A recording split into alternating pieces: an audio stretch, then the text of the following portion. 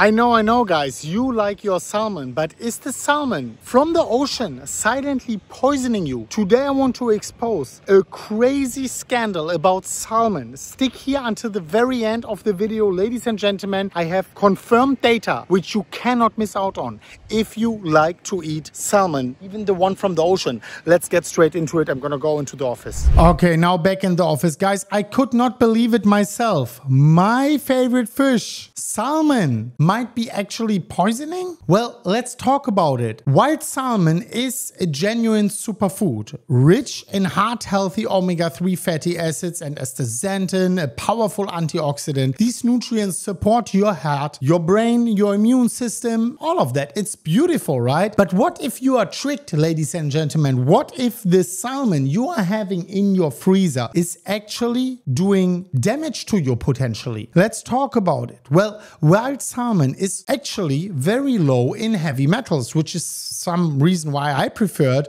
over tuna, right? It's one of the FDA's best choice in low mercury seafoods, high in all different vitamins, even vitamin D. Beautiful. But there is a dark side to that story, ladies and gentlemen. Let's talk about it. Farm raised salmon, and it's very difficult to distinguish because they don't say this is farm raised salmon. It actually might be one of the most toxic fishes you can eat. Hear me out, ladies and gentlemen. All the sources in the video description down below. Fact check it yourself. But farmed salmon very often contains toxic contaminants. One study found PCB levels, it's a carcinogenic pollutant, were 16 times higher in farmed salmon than actually in wild salmon. These toxins actually build up in the fish's fat and then in your body. Some experts are actually warning that even eating one farmed salmon meal per month could exceed safe contaminants limits. Then also, and this made me angry, drugs and diseases. This is a big topic. Tens of thousands of salmon packed into a sea cage become breeding grounds for disease and parasites. To counter this, farms dose the fish with antibiotics and pesticides. And traces of those end up in your fillet, in your fish, and you are eating that. Researchers actually have even found antibiotic resistant bacteria emerging from salmon farm, the most dangerous one. You don't want any antibiotic resistant bacteria because then it just stays in you. Then also there is fake diet and fake color. Yes, farmed salmon is usually not this color.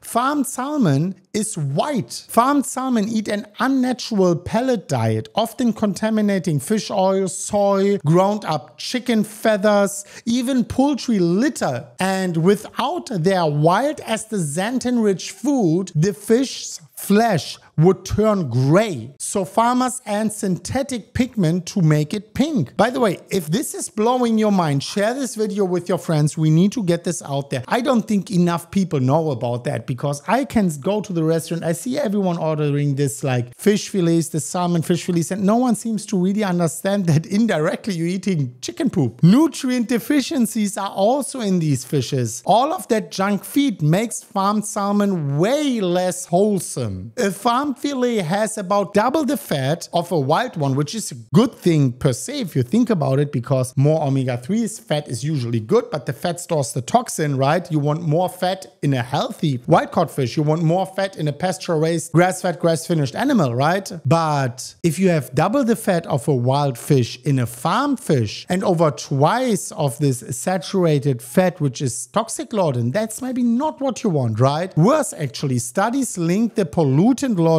fat in farmed salmon to higher rates of insulin resistance and obesity and type 2 diabetics. I have to honestly say that is not all randomized controlled trials, so I don't know how much I would give to that piece of information, but it was something which was coming along my way during the research, so I felt like I should share it with you. Well, how to get the real, the healthy salmon, which I'm holding here in my hand, the wild caught one? Well, to avoid the toxic imposter and still enjoy the healthy salmon, follow the following checklist. I don't want to just fearmonger, I want to give you solutions. Go wild. It has to say wild caught salmon or Alaska salmon, not the farmed one. Choose the wild caught salmon. For example, sockeye salmon, coho salmon, king salmon, Alaska salmon, or just wild salmon. And avoid anything labeled Atlantic salmon, Norwegian, and all of these things. Check the label. Reputable sellers label salmon as wild and note its origin. For example, wild Alaska salmon. If the package or menu